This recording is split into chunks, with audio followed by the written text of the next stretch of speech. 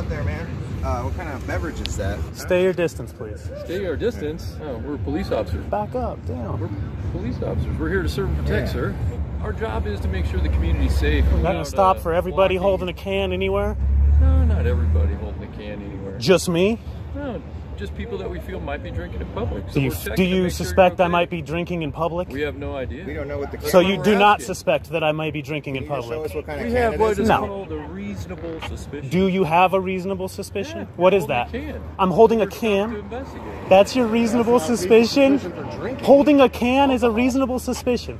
Yeah. So anybody holding a can is under reasonable Well, suspicion. typically we like to see the can. May I have your card, please?